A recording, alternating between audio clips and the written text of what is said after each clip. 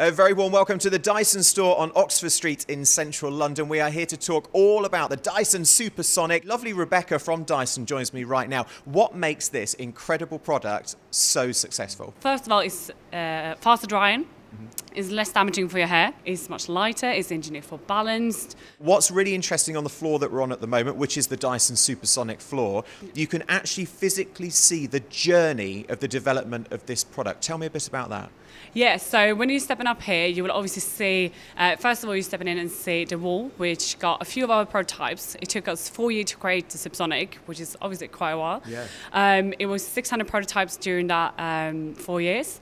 And as I said, they built up a whole hair lab. Um, it's been a lot of both engineers, research, everything um, to be able to create this amazing product. So, Rebecca, thank you very much for showing me around here at the Dyson store on Oxford Street in central London. It's the Dyson Supersonic, available from QVCUK.com right now.